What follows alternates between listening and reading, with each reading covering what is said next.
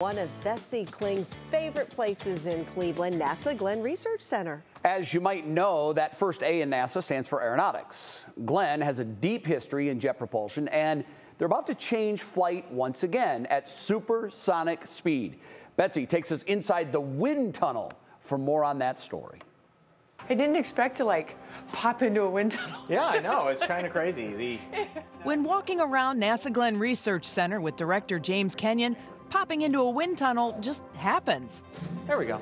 This is where researchers explore high speed flight. And this is a wind tunnel that is supersonic capable. Uh, it's our 8 foot by 6 foot test section uh, supersonic wind tunnel, capable of going up to two times the speed of sound. A couple of things happen. One of the items tested, a small scale model of the new X 59 plane, the future of supersonic flight.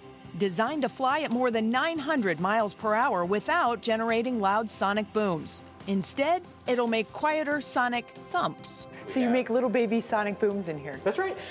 Little That's baby exactly right. pops. That's exactly right. Currently, commercial supersonic flight is banned because of the boom. If NASA can make supersonic speeds quieter, it would dramatically cut flight times in the future. NASA and Lockheed Martin will officially unveil the X 59 this Friday.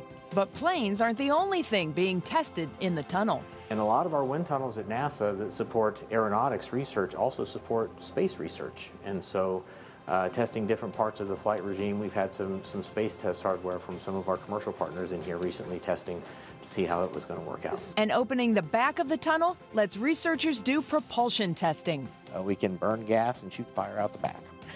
And, uh, and we can do it at very high speeds. And so that's, uh, that's a cool capability we have. Testing the future of aviation in a facility more than 65 years old and right in our backyard.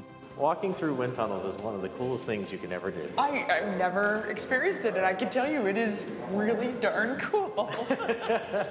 With Growing STEM, I'm Betsy Kling, 3 News.